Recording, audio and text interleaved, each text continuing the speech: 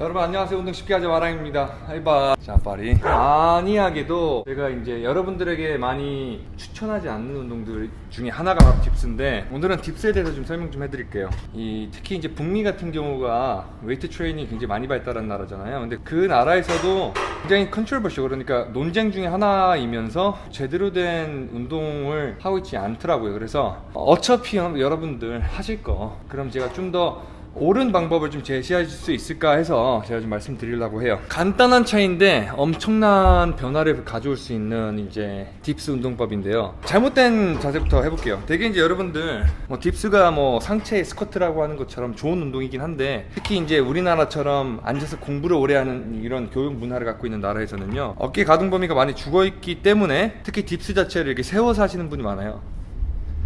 다리를 접고 생각하시는 분이 많은데 더 나아가서 중량 dips도 많이 하시죠? 그런데 dips를 여러분 하기 위해서는 가장 간단한 거는요. 이 dips가 과연 삼두 운동이냐 아니면 이제 밑가슴 운동이냐 이 관점인데 제가 생각하는 dips 운동은 일단은 가슴 운동이 주, 주 운동이 되셔야 돼요. 그러니까 dips 운동을 하게 되면 굉장한 삼두 운동이 들어가긴 해요. 하지만 접근 자체는 가슴 쪽으로 들어가야 된다는 얘기예요. 흉근 쪽으로요. 그렇게 하기 위해서는 상체를 기울여야 돼요. 자 여기서 이제 여러분들 핵심적인 내용이 있습니다 dips를 상체를 기울이시더라도요. 여러분들이 습관이 다리를 접으세요. 뒤로 접잖아요. 이 경우가 가장 잘못된 경우예요. 구글에서 dips 사진만 찾아봐도 이 다리를 뒤로 굽는 경우가 굉장히 많아요. 잘못된 자세라고 생각을 합니다. 그 이유는 즉슨 상체를 기울기 위해서는 어떤 방법을 써 쓰더라도 중력 때문에 상체가 다시 서요.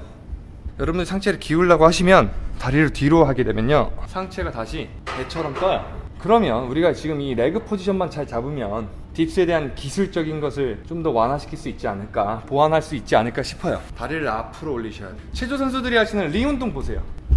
벌리죠? 다리를 뒤로 접습니까? 아니에요 좀 더 원심력을 가지기 위해서 코어를 갖다 쓰는데 그 상태에서는 링 운동 상태에서는 다리를 위로 올리죠. 코어를 가지고 쓰면서 그 반작용에 인한 등 수축력 그러니까 등이 spine이 중립이 돼버려요 그래서 상체를 앞으로 기울이기 위해서는 그냥 고개만 떨구는 게 아니라 다리를 올리면서 접으셔야 돼요. 이, 이 상태가 안 된단 말이에요.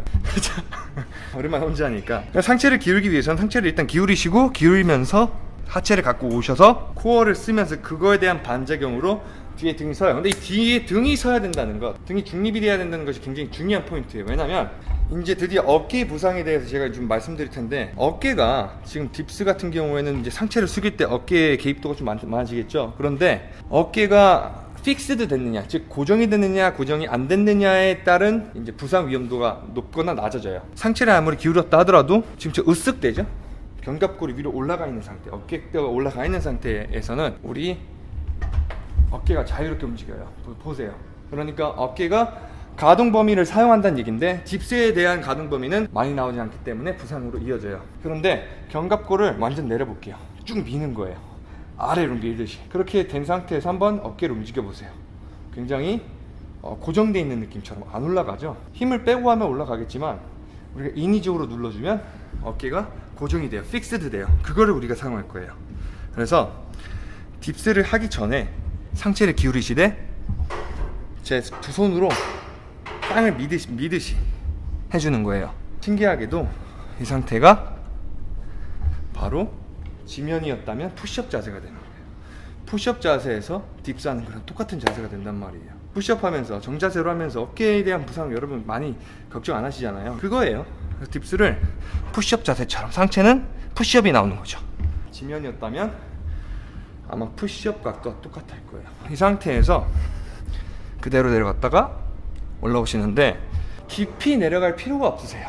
푸시업도 지면까지 내려갔다 올라가도 굉장히 효과적인 운동이잖아요. 지면 속까지 들어갔다 오지 않습니다. 우리가 무슨 뭐 하데스도 아니고요, 그렇죠? 잡는 발을 기준으로 지면이라 했을 때 지면까지만 갔다 오시면 돼요. 그러니까 다시 정리하자면 dips 운동은 삼두 운동이 아닙니다. dips 운동은 가슴 운동이 베이스가 돼야 되지만 삼두의 개입도가 많을 뿐이에요. 두 번째는 상체를 세우지 마세요. 세우시는 분들은 어깨 가동 범위가 좋으신 분들에게 한해서 특히 체조 선수들을 하는데요. 하시는 분은 뭐 제가 할 말이 없습니다.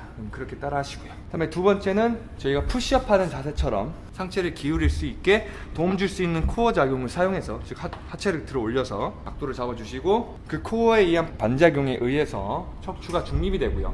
그 다음에 견갑골을 강하게 아래로 수, 아래로 내린다는 거죠. 강하게 하강을 시켜서 어깨의 움직임을 최소화시킨다는 게 제일 중요합니다.